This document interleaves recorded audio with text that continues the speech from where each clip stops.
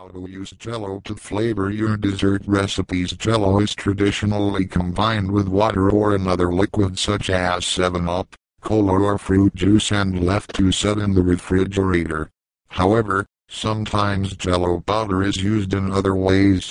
You might want to try mixing the jello powder with the amount of hot water called for on the back of the packet but omitting the cold water. This is how you make fingered jello so named because it is solid enough to pick up and eat with the fingers. Using dry jello powder in recipes Another way to use jello is to flavor your dessert recipes by adding the jello to a recipe. You can use the same jello flavor as your dessert or a contrasting flavor.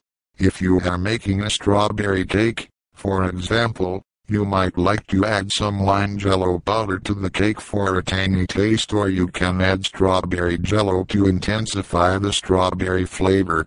Using dry jello in savory dishes There are some savory dishes, which call for jello powder.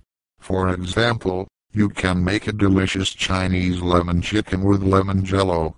Lemon jello granules are sweet but so is Chinese lemon chicken so it works wonderfully. Rhubarb cobbler with strawberry jello The following recipe combines strawberry jello powder with fresh rhubarb and other tasty ingredients for a really great tasting dessert. Rhubarb is both sweet and tart at the same time and is ideal four people who do not like oversweet desserts.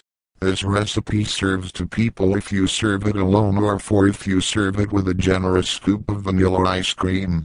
The rhubarb is flavored with the strawberry jello powder and it sits in a homemade pastry base and is topped with a sweet topping, which dissolves in the oven, soaking up the flavors from the rhubarb and the strawberry jello.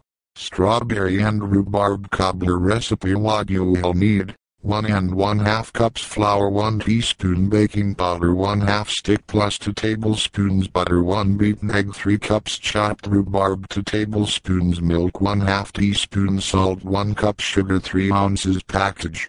Strawberry jello how to make it. Preheat the oven to 350 degrees F. Cut 2 tablespoons of butter into 1 cup of the flour until you have a mixture like fine breadcrumbs. Add the milk, eggs, salt, and baking powder and make a soft dough. Press it into an 8x8 inch pan, pressing the dough up the pan sides. Put the rhubarb in the bottom and sprinkle the jello powder over the top.